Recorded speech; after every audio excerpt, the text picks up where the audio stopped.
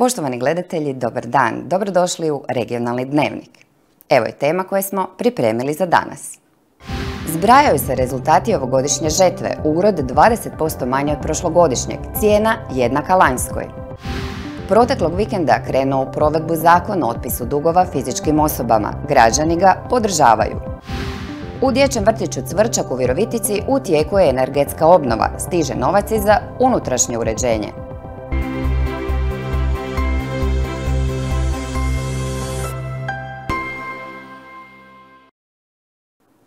Ovih dana zbrajaju se rezultati ovogodišnje žetve. Kako doznajemo iz savjetodavne službe Virovitičko-Podravske županije, prinosi su na tome području bili različiti od OPG-a do OPG-a, od oko 4,5 tone po hektaru do 6,5 tona, a izračuni pokazuju da je ovogodišnji prinos oko 20% manji nego prošle godine.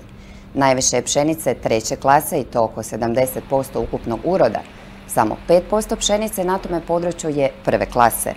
Otkupna cijena pšenice je na razini prošlogodišnje, odnosno od kune do kune i 15 lipa po kilogramu za prvu, drugu i treću klasu, dok se za premium pšenicu koji ima najmanje može dobiti kunu i 25 lipa po kilogramu.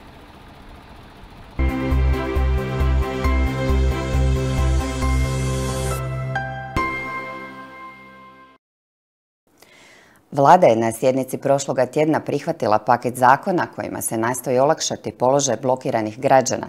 To su prijedlozi zakona o otpisu dugova fizičkim osobama, o provedbi ovrhe nad novčanim sredstvima te o izmjenama zakona o stečaju potrošača. Već tijekom proteklog vikenda krenulo se u provedbu zakona.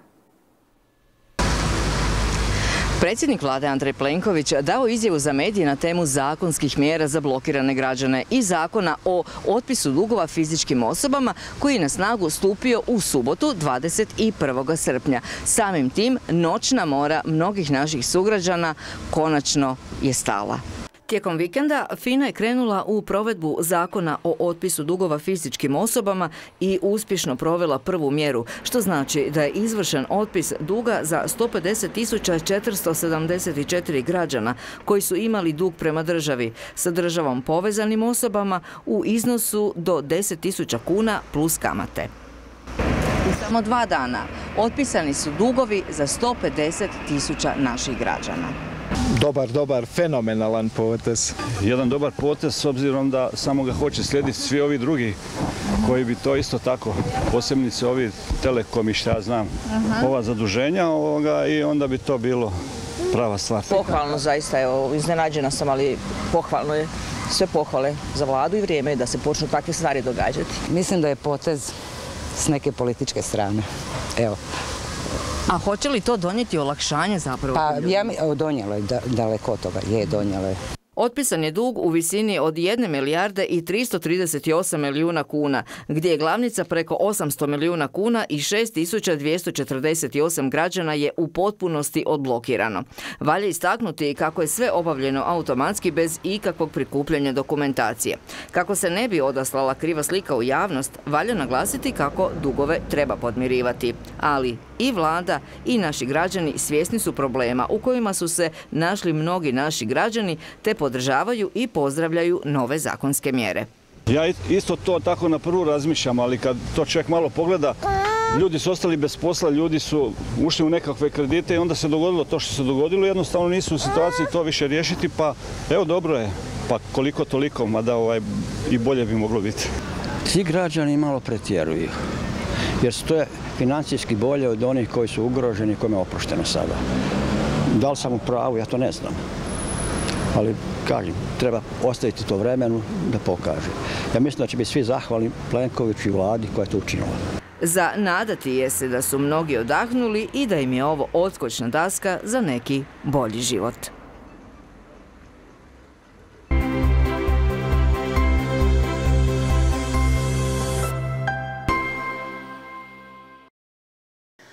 Uz energetsku obnovu najstarije zgrade Virovitičkog dječjeg vrtića Cvrča koje je u tijeku, uskoro kreće i obnova unutrašnjosti zgrade.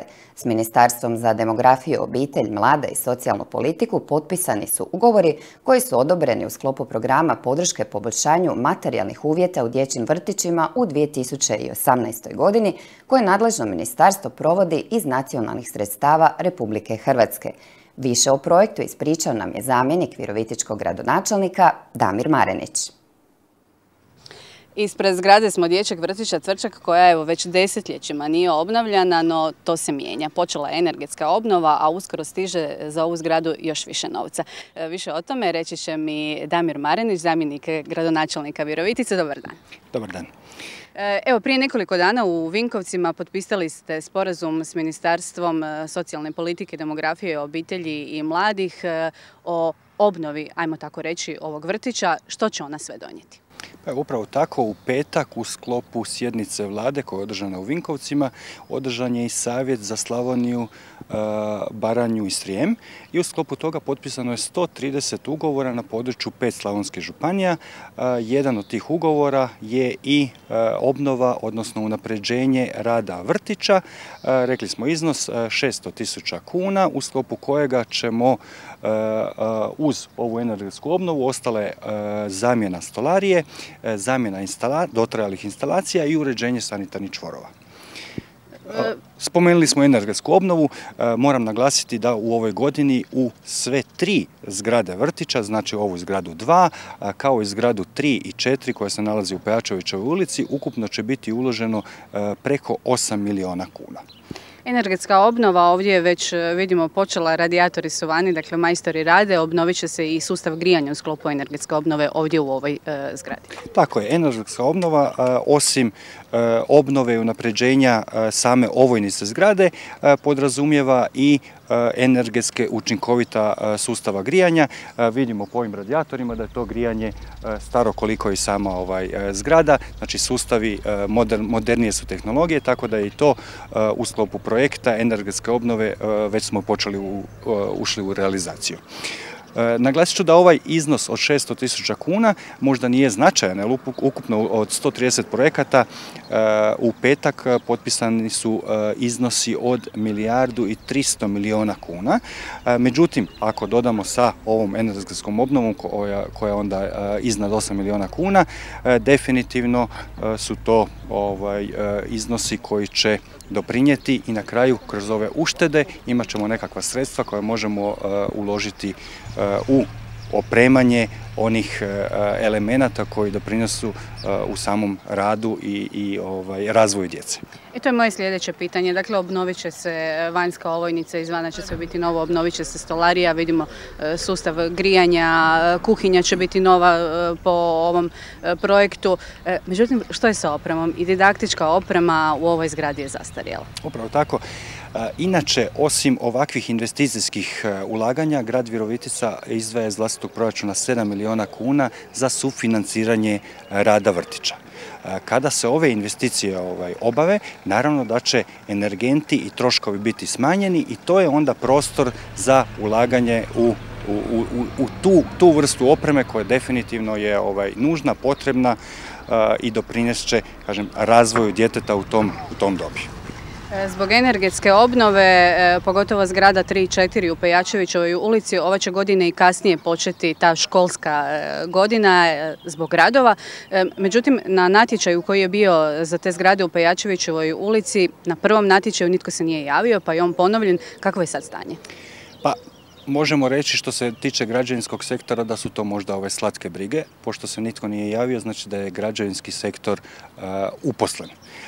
natječaj je ponovljen, Imamo na svu sreću ponude u tom natječaju, radi se evaluacija ponuda i očekujemo odabir izvođača i što prije početak radova, jer ovaj je sad period kada djeca ne borave u vrtiću, da se što više radova ovaj odradi i da se radovi što prije dovrše, da mogu se staviti te zgrade u funkciju, jer ovako će biti otežan boravak, boravak djece.